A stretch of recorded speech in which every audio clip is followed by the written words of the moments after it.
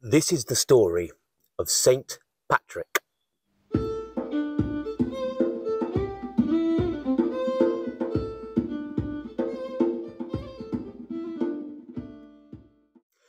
So, my friends, St. Paddy's Day is nearly upon us. Maybe you've bought a massive green hat, maybe you stocked up on Guinness, and you're getting ready for a celebration. But today, I would like to explore the legend, the mythos of St. Patrick, patron saint of Ireland. So, St. Patrick is a really interesting figure because he sits at a sort of um, intersection between earlier Irish mythology and the tales of gods and heroes and the later legends of the saints and sort of Irish history. He's kind of a linchpin, a bridge between pagan Ireland and the Christian present. So I'm going to tell you the story of St. Patrick now. It's not going to be really a historical narrative, it's going to be more of a legendary narrative. And I would like to take you to the place where St. Patrick banished all the snakes from Ireland, which is a real place. It's called Croagh Patrick. I went there last year. So I'd like to take you there and show you that. And then I'd like to share a sort of personal story of something that happened to me there. And sort of maybe ask what St. Paddy's Day is really about, if we're maybe interested in the old ways, including early Christianity and what came before it. So, St. Patrick was not Irish.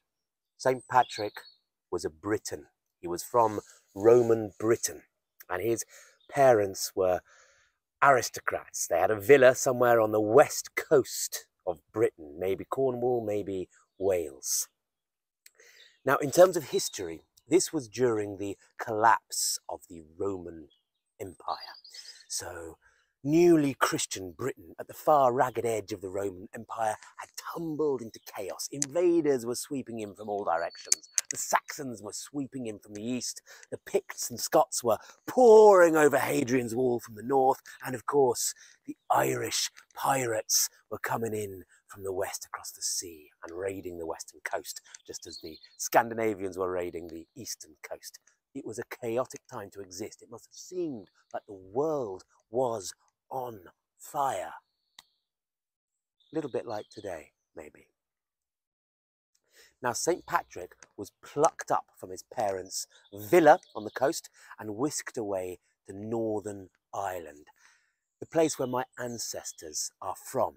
He was in Ulster, somewhere between the shores of Lough Neagh and the mountains. So he was forced to be a shepherd for many, many long years, five or six years. He had to tend his master's flock. Come rain or sun, bears or wolves he had to endure, and he was very, very lonely and often terrified.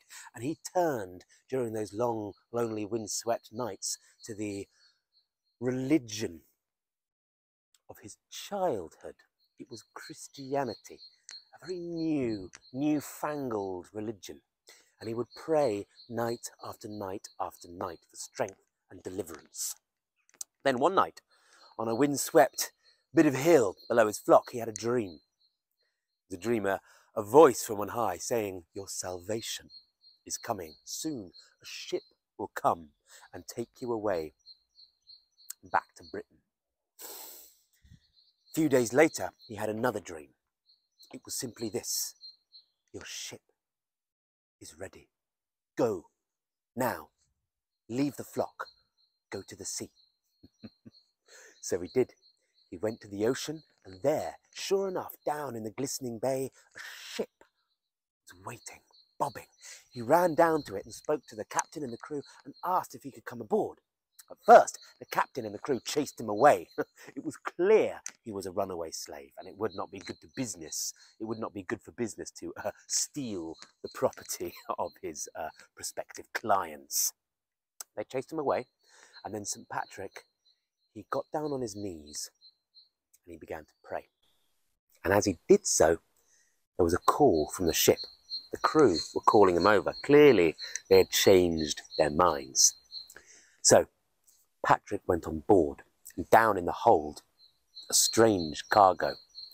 oh, the whole thing was filled with Irish wolfhounds that were on their way to markets in Gaul, where they would fetch a very good price as guard dogs. So, packed in this hold full of dogs, Patrick prayed for safety, and those dogs did not harm him.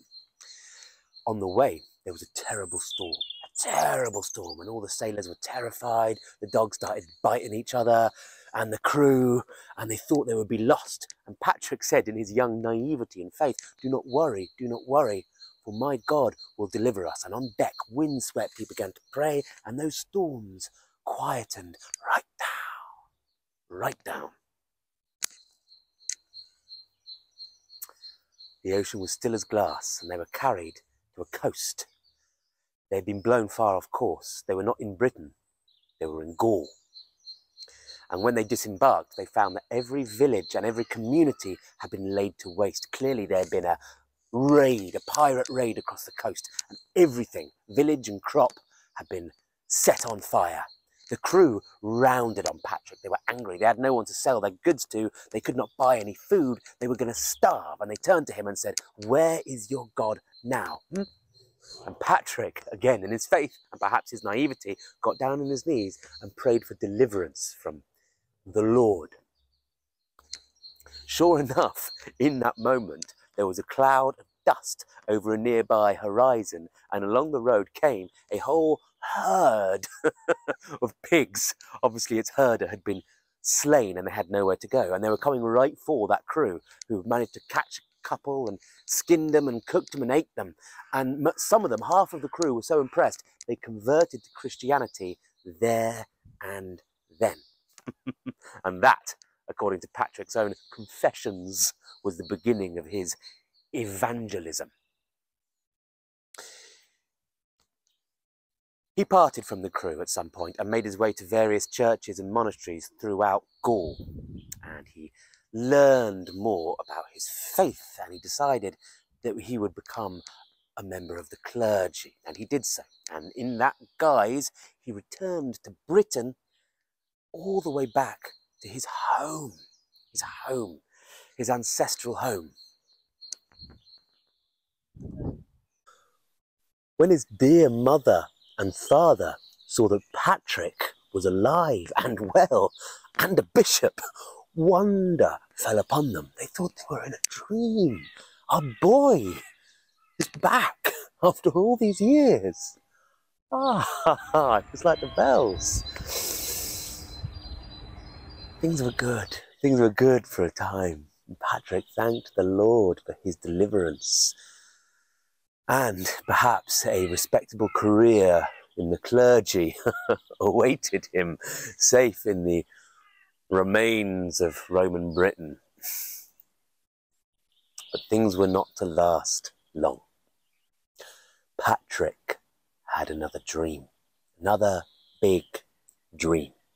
In it, a ship, another ship was sailing from Ireland, and out of it came a man, a man whose name was Victoricus, and he had with him letters. And on the letters was written a header, the voice of the Irish, and crying out as if in one voice were many lamentations of people he used to know back when he was a slave, a lowly herder in the wilds of the north of Ireland. And they were saying, Come back, Patrick, please, walk again among us. We too need to be saved. Wow. If you have that kind of dream, my friends, you do not ignore it. And Patrick made ready, got permission from the ecclesiastical authorities to journey over and convert the pagan Irish. Obviously, his parents were very, very, very distraught at this. They just got their son back. Patrick knew it was his destiny. It was written in the soul of the world, or so the legend goes. So Patrick sailed over with a small, very small group of monks over a stormy sea, and he arrived not far, not far at all from when he had fled Ireland all that time before.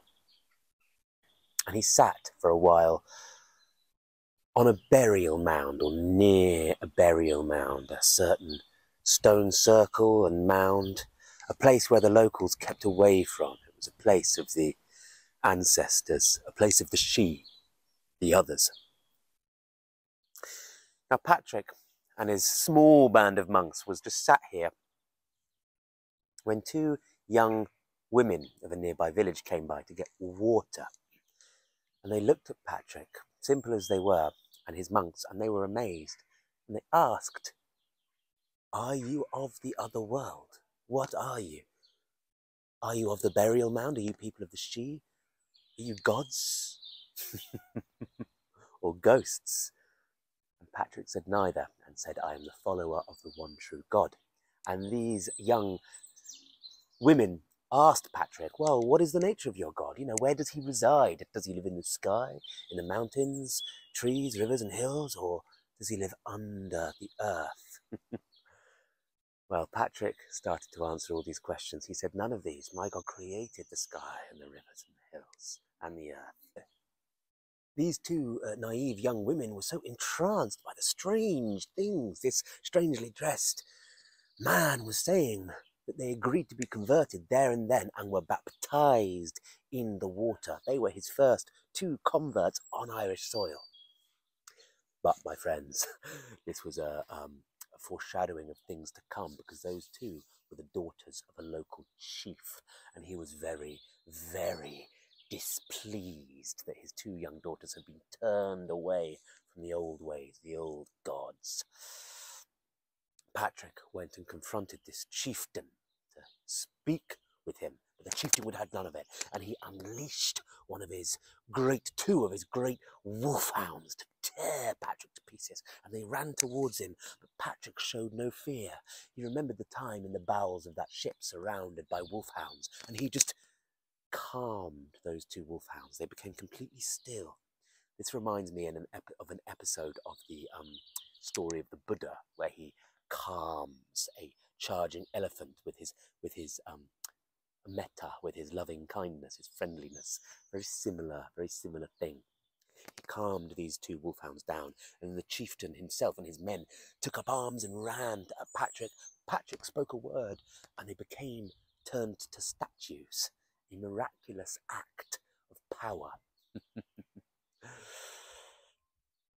Patrick was overcome with remorse, though, that he had turned this chieftain and his men to stone, and went up and touched his feet, and wept, and the tears fell upon the feet of those statues, and the dogs licked up the salty tears, and gradually that chieftain turned back into living form, and so grateful and overjoyed and overawed was he that he too converted to Christianity, and so did his tribe. But you see, this is the story of St. Patrick. It was piecemeal. The conversion was slow, tribe by tribe, kingdom by kingdom, petty chieftain by petty chieftain. Some embraced Christianity. It was a breath of fresh air against the oppression of the old gods that lusted for blood. But others clung firmly to the ancestral ways. Who can blame him? Maybe. Gradually, St. Patrick made his way round the north coast of Ireland to the west down what we now call the Wild Atlantic Way. Eventually, he came to a place called the Reek, a sacred mountain. And he ascended that mountain, and just like Moses on top of Mount Sinai, he fasted on top of it for 40 days and 40 nights. And he confronted many demons, just like Jesus in the desert. One night, a huge flock of black birds came and tried to peck him all to death, and he flung them away. One night, great black serpent slithered out of the loch below and tried to devour him, but he plucked it up and banished it back down into the waters below, where it still remains to this day. Another day, a demon came with his daughters and attempted to lure Patrick with thoughts of lusty things. Again, just like the story of the Buddha under the Bodhi tree and the daughters of the demon king Mara. Similar parallels here. Well, at the end of 40 days and 40 nights, Patrick had enacted some piece of Christian magic that banished all of the snakes from Ireland and reached a covenant with God that he would indeed convert all of the Irish to Christianity. And on the last day of judgment, he would be the one to decide their fate. Later interpretation, you might say. But when Patrick descended the reek, descended that sacred mountain, that, that seat of druidry and the old gods, he was changed, he was transformed, he was glowing. People could tell. And people converted there, left, right, and centre. All people started to follow Patrick and this new god, this new druid who had come with this new Christ, the druid of Galilee. and they followed him, they followed him. And then Patrick went straight to the centre of Ireland, straight to the palace of the High Kings. Patrick went to Tara. And it was Beltane, the fire festival.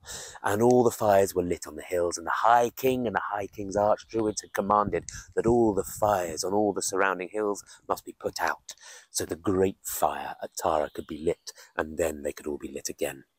So, one by one, this Beltane, all the fires started to go out all around. All was going well according to the decrees of the druids and wizards of the old ways. One fire one fire on a hill nearby did not go out.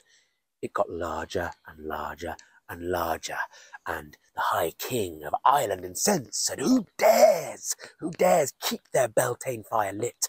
And the Druids consulted each other. It was woeful news, and they said, This fire must be put out now, because if it is not put out now, it will never be put out, and all of our old ways will be forgotten.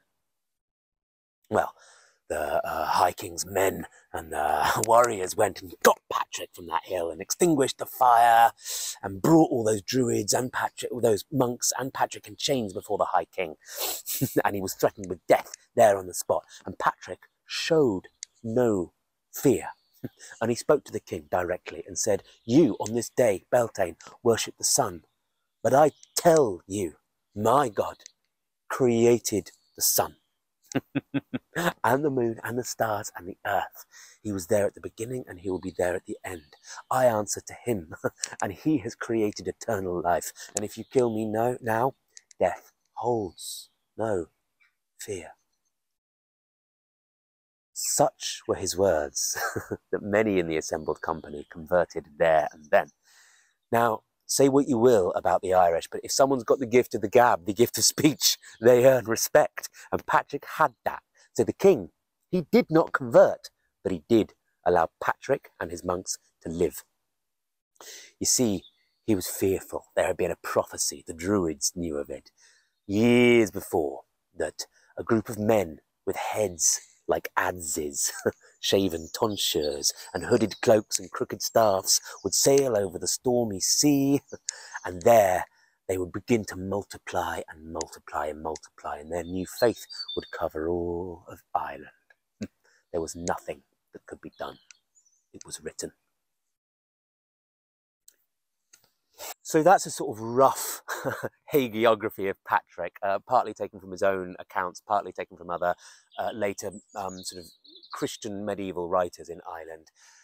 Obviously, take it with a pinch of salt. Um, a lot of other stuff is filled with kind of Christian vitriol against the old ways. So I've sort of pick and mixed that one a little bit. But there's another really interesting story about St. Patrick, which, as I said at the beginning of this video, really links him in with earlier mythology and later history. So this story takes place, you know, towards the end of Patrick's career. Christianity has been sort of well established. There are various churches and monasteries throughout Ireland. Uh, and one of them, the main monastery, the old pagans derisively called it the House of the Bells because of those bells. You know, it was a monastery like this one. So one day, a wild man came to the monastery, the house of the bells, the house of St. Patrick. he was ancient, beard stretching all the way down to the ground, bent double. But even though he was bent double, he was still head and shoulders taller than any other man. and he would eat, all the appetite that he had. He poured scorn on the thin gruel of the monks. He poured scorn on their weak, ale. And he would say, in the old days, a quarter of a blackbird would have been bigger than your side of venison. A rowan berry would have been bigger than your loaf of bread. Hell, the juice from that rowan berry would have been bigger than your tankard of mead, you pitiful monks. You lie, old man, said one of the monks. And then a great hot anger fell on this old man, and he rose up and grasped the skull of this monk who was about to crush it. Peace, said Patrick. I do not lie. the days of the Fianna were so much finer than these dry days of you monks and your psalms and your chanting and your dreary bells and your poor, poor music and your worse poetry. the Fianna, the legendary heroes of Ireland, had been dead for hundreds of years. How could this man know anything of the days of the Fianna? Well, it just so happened that this old man was Oisin. Oisin, the son of the deer. Oisin, the son of Finn McCool himself, who had been across the sea through a doorway in a fairy wind to the land of Tir na nOg. If you're familiar with Irish mythology and the Fenian cycle, you'll know the story of Oisin and Niamh, who go over the sea into the land of the ever young, Tir na nOg. I've told it on this channel, I'll put a link to it. But to cut a long story short, Oisin has a family and everything is wonderful in the land of the land of eternal youth, but he longs for home. and he goes back to Ireland on a horse riding across the ocean, and he's told by his wife not to let a foot touch Irish soil or he can never return home. Sadly, he does, and just then he ages hundreds of years and becomes an old man. And that is how the monks found him, and he is taken to St. Patrick.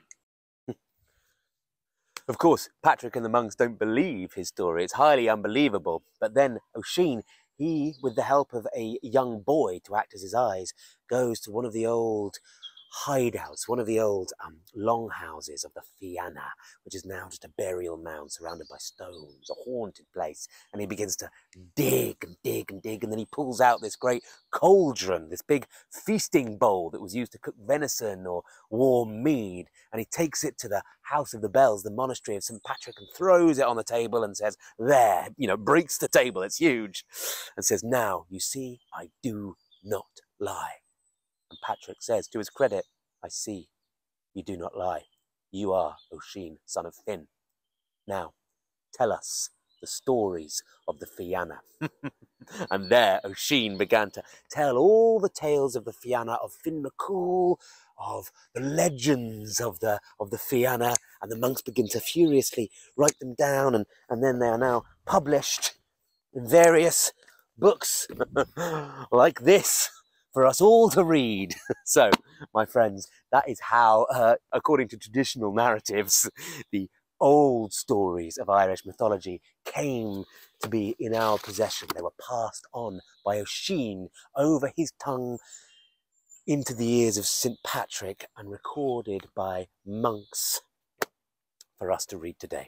So that is the way in which earlier the pagan imagination of Ireland is connected to the later literary tradition of Christian Ireland via the bridge, the device of Oisin and St. Patrick. So just something to think about there. So, St. Patrick and the snakes. this is uh, one thing that most people know about St. Patrick, isn't it? That he supposedly banished all the snakes from Ireland. Obviously, it's not true. Ireland has never had any snakes for geological reasons, but it's kind of always been taken as an allegory for banishing the pagan ways and the old gods from Ireland. Again, I would say this this kind of puts Patrick in the lineage of dragon slayers, serpent vanquishers in Indo-European mythology. Think of Indra, think of Zeus, think of Thor. They're all serpent slayers, good overcoming evil, and paganism is evil, dragons, ah. But he doesn't slay the snakes, he banishes them. Slightly different thing. But there's also another layer, I would argue, is going on here. And this could be symbolic on another layer because he doesn't really banish the old ways. He kind of incorporates them into Christianity. This is why Christianity really took off in Britain and Ireland, is it because it kind of incorporated the old Druidic belief system. So there is a historic place connected with this supposed act of serpent banishment, this act of ritual magic. It's called Croagh Patrick. It's called the Reek. Now, I went on a pilgrimage here last year, and there's a bit of a story I've got attached to this.